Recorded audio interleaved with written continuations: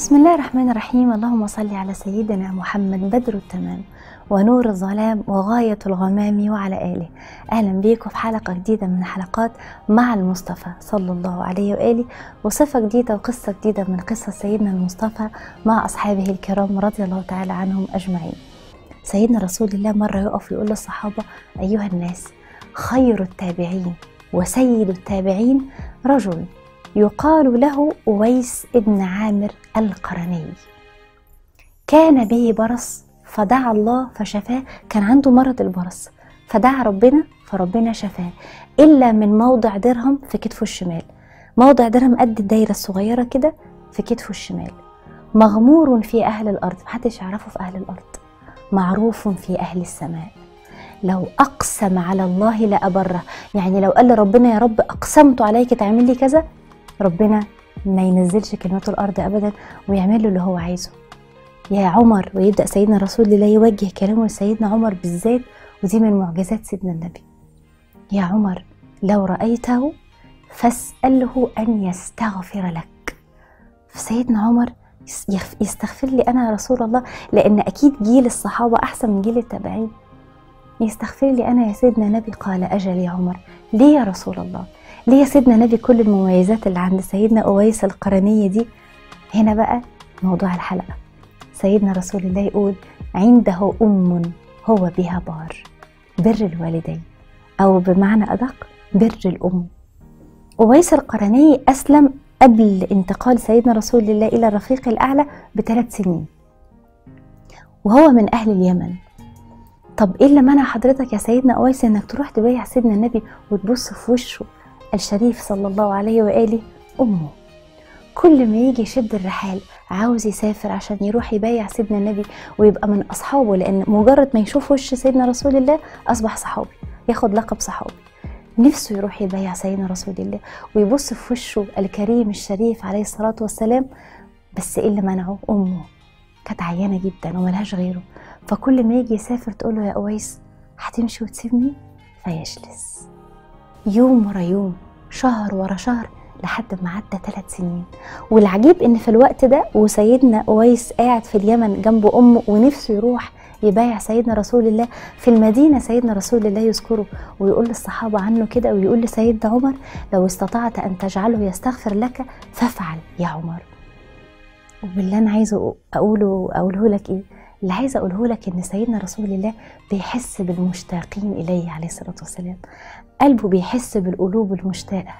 فلو أنت بتحب سيدنا النبي وقلبك مشتاق هيعرفك عليه الصلاة والسلام. هو أصلا عارفك دلوقتي. تعدي الأيام وانتقل سيدنا رسول الله صلى الله عليه وآله وسلم. وجت خلافة سيدنا أبو بكر الصديق. لحد ما خلصت خلافته ويموت سيدنا أبو بكر الصديق وتيجي خلافة سيدنا عمر وده الإعجاز بتاع سيدنا رسول الله لما اختار سيدنا عمر بالذات وقال له يا عمر إن لقيته فسله أن يستغفر لك لأن الوحيد اللي هيلحقه هو سيدنا عمر. أول ما جت خلافة سيدنا عمر بقى هو وسيدنا علي دايما مع بعض سيدنا علي كان دراع سيدنا عمر اليمين كانش سيدنا عمر ياخد قرار إلا لما يستشير سيدنا الإمام علي عليه السلام. فكل ما يجي موسم الحج سيدنا عمر ياخد سيدنا علي ويقول له تعالى يا علي نروح في الحج وندور على أويس القرني أنا لازم أخليه يستغفر لي وصيه سيدنا النبي كل موسم حج يروحوا يقفوا على الجبل هناك ويقولوا يا أهل الحج هل منكم أحد من أهل اليمن؟ مفيش السنة اللي بعديها هل منكم أحد من أهل اليمن؟ مفيش السنة اللي بعديها وقف سيدنا عمر ومعاه سيدنا علي هل منكم أحد من أهل اليمن؟ فقامت مجموعة قالت له أيوة إحنا يا أمير المؤمنين قال لهم تعالوا. وقفوا كلهم قدامه. قال لهم من كان منكم من أهل اليمن فليقف والناس كلها تقعد. فالناس كلها قعدت وفضلوا واقفين أهل اليمن. وبعدين قال لهم من كان منكم من قبيلة قرن فليقف وليجلس باقي الناس. فوقفوا اللي من قبيلة قرن. فبص لهم قال لهم أيها الناس من منكم أويس القرني؟ فوقف واحد قال له يا أمير المؤمنين هو قريبي. بس أكيد حضرتك متلخبط في الاسم. قال له أنت تعرفه؟ قال له ده ابن عمي. قال له هو فين؟ قال له يا أمير المؤمنين حضرتك أكيد متلخبط ده ولد غلبان جدا ومحدش يعرفه. فبكى سيدنا عمر وقال صدق رسول الله. سيدنا النبي قال مغمور في أهل الأرض معروف في أهل السماء. فسيدنا عمر قال له هو فين؟ قال له ما جاش معانا. قال له أله أم قال نعم. قال حية؟ قال نعم. فقام سيدنا عمر بص لسيدنا الإمام علي وقال له شفت يا علي؟ مش هيجي طول ما أمه حية. وتلف الأيام ويجي السنة اللي بعدها. سيدنا عمر تاني هو وسيدنا الإمام علي عمالين يسألوا أيها الناس أمنكم أحد من أهل اليمن؟ جت أهل اليمن. حد فيكم من قرن؟ جم أهل قرن. تعرفوا أويس القرني؟ قالوا له يا أمير المؤمنين أكيد حضرتك متلخبط في الاسم. ده ولد غلبان سيبناه مع الغنم كده يخلي باله من الغنم بتاعنا. فقال صدق رسول الله هاتولي راحوا جابوه وجه فوقف قدام سيدنا عمر. سيدنا عمر لقى ولد غلبان وهدومه على قد الحال وشكله. قال أأنت أويس؟ قال نعم. فبكى سيدنا عمر. قال له ألك أم؟ قال ماتت يا أمير المؤمنين. لذلك جئت قال أعلم. أكان عندك برص؟ سيدنا عمر بيتأكد من الصفات الأول. أكان عندك برص وشفاك الله؟ قال نعم يا أمير المؤمنين إلا من موضع درهم. فبكى سيدنا عمر. قال له استغفر لي يا أويس. قال ليه يا عمر؟ ليه يا امير المؤمنين؟ سيدنا أويس لحد دلوقتي ما يعرفش اللي سيدنا النبي قاله ما يعرفش إن سيدنا النبي موصي عليه وقال لسيدنا عمر خليه يستغفر لك. قال أنا أستغفر لك يا امير المؤمنين؟ قال له أبشر يا أويس ذكرك لنا رسول الله. وقال لنا كل حاجة عنك وقال لنا إن أنت مستجاب الدعوة. ولا تقسم على الله في شيء إلا أبرك. استغفر لي يا أويس.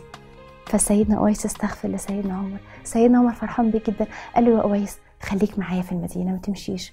قال لا يا أمير المؤمنين. سيبني. أنا عايز أبقى مغمور في أهل الأرض. مش عايز حد يعرفني. ومن فضلك ما تحكيش لحد إن أنا مستجاب الدعوة.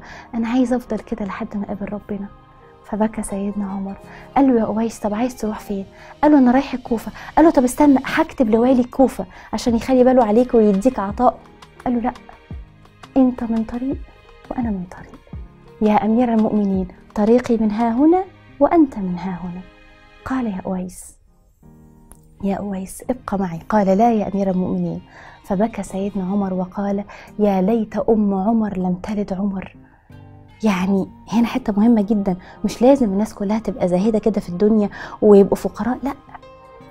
سيدنا أويس رد عليه قال له يا لا يا أمير المؤمنين. بل ما أنت فيه خير لك وما أنا فيه خير لي. كل واحد فينا المقام اللي ربنا حطه فيه ده الخير ليه. كل ده علشان عمل إيه؟ كان بارا بأمه.